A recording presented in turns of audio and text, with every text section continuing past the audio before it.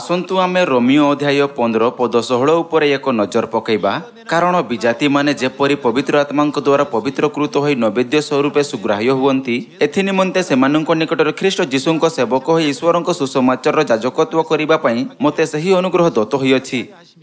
ଏଣୁ ଈଶ୍ୱରଙ୍କ ସେବା ବିଷୟରେ ମୋହର ଖ୍ରୀଷ୍ଟ ଯୀଶୁଙ୍କଠାରେ ଦର୍ପ କରିବାର ଅଛି। କାରଣ ବିଜାତିମାନଙ୍କୁ ଆଜ୍ଞାବହ କରିବା ନିମନ୍ତେ ଖ୍ରୀଷ୍ଟ ମୋ ଦ୍ୱାରା ବାକ୍ୟରେ ଓ କର୍ମରେ ଅର୍ଥାତ୍ ନାନା ଚିହ୍ନ ଓ ଆଶ୍ଚର୍ଯ୍ୟ କର୍ମରେ ପବିତ୍ର ଆତ୍ମାଙ୍କ ଶକ୍ତିରେ ଯାହା ଯାହା ସାଧନ କରିନାହାନ୍ତି ଏପରି କୌଣସି ବିଷୟ କହିବାକୁ ମୁଁ ସାହସ କରିବେ ନାହିଁ। ଏହି ପ୍ରକାରେ ଜିରୁସାଲମ ଠାରୁ ଇଲୁରିକ ପର୍ଯ୍ୟନ୍ତ ଚତୁର୍ଦିଗରେ ମୁଁ ଖ୍ରୀଷ୍ଟଙ୍କ ସୁସମାଚାର ସମ୍ପୂର୍ଣ୍ଣ ରୂପେ ପ୍ରଚାର କରିଅଛି। ଏଇଠି ଏହି ସୁସମାଚାର କାହାର? ଲେଖା ଅଛି ଖ୍ରୀଷ୍ଟଙ୍କ ସୁସମାଚାର ସମ୍ପୂର୍ଣ୍ଣ ରୂପେ ପ୍ରଚାର କରିଅଛି। ଏହି ସେହି ସୁସମାଚାର ଯାହା ଖ୍ରୀଷ୍ଟ ଏହି ପୃଥିବୀକୁ ଆଣିଛନ୍ତି ଏହା ଅତ୍ୟନ୍ତ ଗୁରୁତ୍ୱପୂର୍ଣ୍ଣ। ଏହି ସୁସମାଚାର ହେଉଛି ନୂତନ ନିୟମର ସୁସମାଚାର।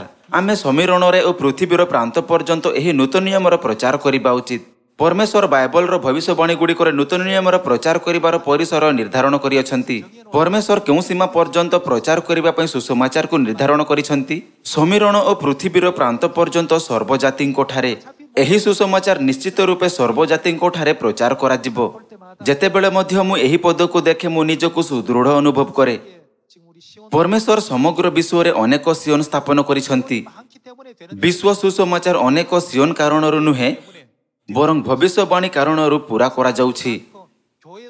ଏହା ସଦସ୍ୟ କିମ୍ବା ଚର୍ଚ୍ଚର ସଂଖ୍ୟା ଉପରେ ନିର୍ଭର କରେ ନାହିଁ। ପରମେଶ୍ୱର ଏହି କାର୍ଯ୍ୟକୁ ସମ୍ପୂର୍ଣ୍ଣ କରିବା ନିମନ୍ତେ ପୂର୍ବରୁ ଉଦ୍ଦେଶ୍ୟ ଯୋଜନା ଏବଂ ସଂକଳ୍ପ କରିଅଛନ୍ତି। ତେଣୁ ସେ ଏବେ ସାରା ବିଶ୍ୱରେ ସମସ୍ତ ରାଷ୍ଟ୍ରକୁ ସୁସମାଚାର ପ୍ରଚାର କରୁଛନ୍ତି। ଏହି କାର୍ଯ୍ୟରେ ଅଂଶଗ୍ରହଣ କରିବା ଆମ ପାଇଁ ବହୁତ ବଡ଼ ଲାଭ ଓ ଅନୁଗ୍ରହ ଅଟେ। କିନ୍ତୁ ଯେଉଁମାନେ ସୁସମାଚାରର ମୂଲ୍ୟ ବୁଝନ୍ତି ନାହିଁ ସେମାନେ ଏହାକୁ ଗ୍ରହଣ କରନ୍ତି ନାହିଁ।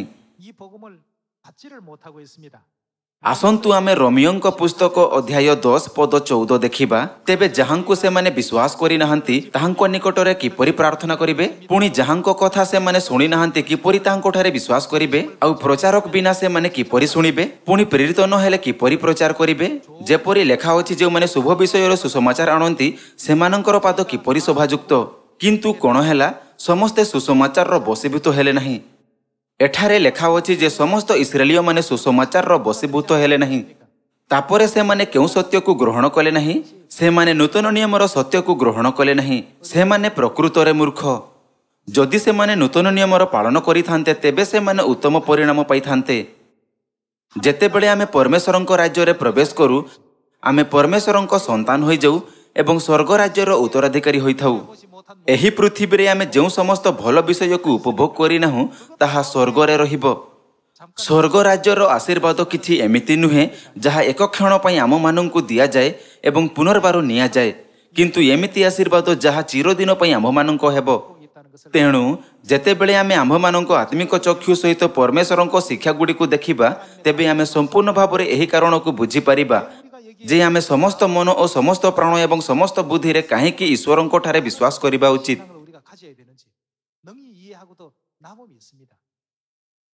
କିନ୍ତୁ ଯେଉଁମାନେ ଏହାକୁ ଗ୍ରହଣ କରନ୍ତି ନାହିଁ ସେମାନଙ୍କ ଅବସ୍ଥା କ'ଣ ହେବ? ଆସନ୍ତୁ ଦ୍ୱିତୀୟ ଥେସଲୋନିକ ପୁସ୍ତକ ଅଧ୍ୟାୟ ଏକରେ ଦେଖିବା ସେମାନଙ୍କ କ'ଣ ହେବ। ଆସନ୍ତୁ ଆମେ ଦ୍ୱିତୀୟ ଥେସଲୋନିକର ପୁସ୍ତକ ଅଧ୍ୟାୟ ଏକ ପଦ ସାତ ଦେଖିବା। ସେତେବେଳେ ତୁମମାନଙ୍କୁ କ୍ଲେଶ ଦେଉଥିବା ଲୋକମାନଙ୍କୁ ପ୍ରତିଫଳ ସ୍ୱରୂପ କ୍ଲେଶ ଦେବା ଓ କ୍ଲେଶ ଭୋଗ କରୁଅଛ ଯେ ତୁମେମାନେ ତୁମମାନଙ୍କୁ ଆମମାନଙ୍କ ସହିତ ବିଶ୍ରାମ ଦେବା। ଏହା ତ ଈଶ୍ୱରଙ୍କ ପକ୍ଷରେ ନ୍ୟାୟର ବିଷୟ। କ'ଣ ଏହା ଶେଷ ବିଚାରକୁ ସୂଚିତ କରେ ନାହିଁ? ଏହା ତେବେ ହେବ ଯେବେ ପରମେଶ୍ୱର ଜଗତକୁ ବିଚାର କରିବା ନିମନ୍ତେ ଆସିବେ। ପଦ ଆଠ ଯେଉଁମାନେ ଈଶ୍ୱରଙ୍କୁ ଜାଣନ୍ତି ନାହିଁ ଓ ଆମ୍ଭମାନଙ୍କ ପ୍ରଭୁ ଯୀଶୁଙ୍କ ସୁସମାଚାର ମାନନ୍ତି ନାହିଁ ସେମାନଙ୍କୁ କ'ଣ ସେ ସେତେବେଳେ ଦଣ୍ଡ ଦେବେ? ଯେଉଁମାନେ ସୁସମାଚାର ମାନନ୍ତି ନାହିଁ ସେମାନଙ୍କୁ ଦଣ୍ଡ ଦିଆଯିବ ଅନ୍ୟ ଅର୍ଥରେ ସେମାନେ କାହାର ପାଳନ କରନ୍ତି ନାହିଁ? ନିସ୍ତାର ପର୍ବଠାରୁ ଆରମ୍ଭ କରି ନୂତନ ନିୟମର ସମସ୍ତ ନିୟମକୁ ଅନ୍ତର୍ଭୁକ୍ତ କରାଯାଇଛି। ଯେଉଁମାନେ ନୂତନ ନିୟମ ପାଳନ କରନ୍ତି ନାହିଁ ସେମାନଙ୍କର କ'ଣ ହେବ? ଯେବେ ପରମେଶ୍ୱର ଜଗତର ବିଚାର ନିମନ୍ତେ ଆସିବେ ତେବେ ସେମାନଙ୍କୁ ଦଣ୍ଡ ଦିଆଯିବ। ଦଣ୍ଡିତ ହେବାର ସିଧା ଅର୍ଥ ନର୍କକୁ ଯିବା। ଏହା କ'ଣ ସତ୍ୟ ନୁହେଁ? ଯେଉଁମାନେ ନୂତନ ନିୟମକୁ ଗ୍ରହଣ କରନ୍ତି ନାହିଁ ସେମାନେ ବହୁତ କଷ୍ଟ ଭୋଗିବେ। ଯେତେବେଳେ କି ଯେଉଁମାନେ ଏହାକୁ ଗ୍ରହଣ କରିବେ ସେମାନେ ପ୍ରତିଜ୍ଞାରେ ଅଂଶଗ୍ରହଣ କରିବେ ପରମେଶ୍ୱରଙ୍କ ସନ୍ତାନ ହେବେ ଏବଂ ପରମେଶ୍ୱରଙ୍କ ଅନନ୍ତ ଆଶୀର୍ବାଦରେ ଅଂଶଗ୍ରହଣ କରିବେ। ପରମେଶ୍ୱର ଆମ୍ଭମାନଙ୍କୁ ଏହି ବିଷୟକୁ ଅତି ସ୍ପଷ୍ଟ ଭାବରେ ଜାଣିବାକୁ ଦିଅନ୍ତି। ସେଥିପାଇଁ ସୁସମାଚାର ଏକ ଭଲ ଖବର ଅଟେ। ଯଦି ଆମେ ଏହି ସୁସମାଚାରକୁ ଗ୍ରହଣ କରିବା ନାହିଁ ତାହାହେଲେ ଆମେ ଏହାର ବହୁତ ଅନୁତାପ କରିବୁ।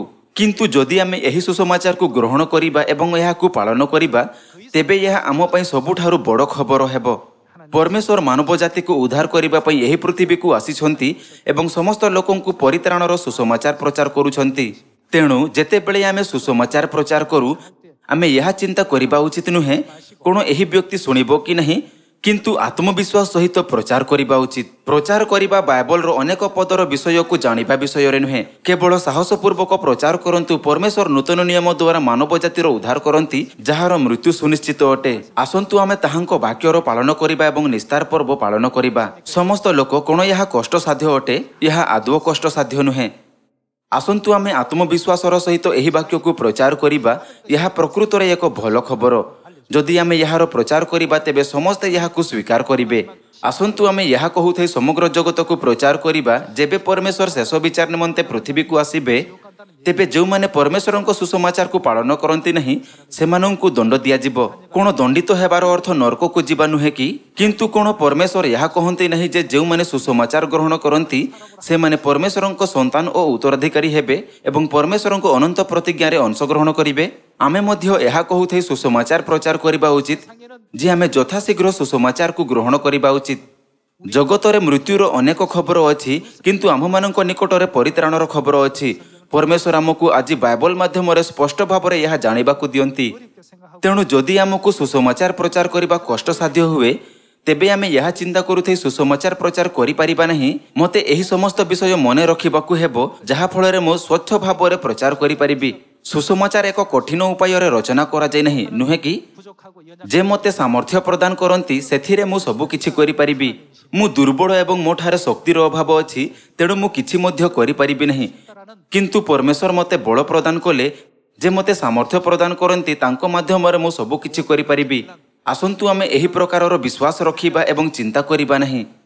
ଆମେ ଆମର ସମସ୍ତ ଚିନ୍ତା କାହା ଉପରେ ରଖିବା ଉଚିତ? ଲେଖା ଅଛି ପ୍ରଭୁଙ୍କଠାରେ ସମସ୍ତ ଚିନ୍ତା ଛାଡ଼ି ଦିଅ। ମୁଁ ଆପଣ ସମସ୍ତଙ୍କୁ ନିବେଦନ କରିବାକୁ ଚାହୁଁଛି ଯେ ଆମେ ପରମେଶ୍ୱରଙ୍କ ଉପରେ ଆମର ସମସ୍ତ ଚିନ୍ତା ଛାଡ଼ିଦେବା ପିତା ପରମେଶ୍ୱର ଏବଂ ମାତା ପରମେଶ୍ୱରଙ୍କୁ ଧନ୍ୟବାଦ ଦେବା। ଯେଉଁମାନେ ଆମକୁ ନୂତନ ନିୟମର ସତ୍ୟତାରେ ମୁଦ୍ରାଙ୍କ କରିବାକୁ ଅନୁମତି ଦେଇଛନ୍ତି ଏବଂ ନିରବ ରହିବା ଏବଂ ଏହାକୁ ନିଜଠାରେ ରଖିବା ପରିବର୍ତ୍ତେ ସମଗ୍ର ମାନବ ଜାତିକୁ ଏହି ସୁସମାଚାରକୁ ପରିଶ୍ରମ ପୂର୍ବକ ପ୍ରଚାର କରିବା ଆପଣଙ୍କ ବହୁତ ବହୁତ ଧନ୍ୟବାଦ।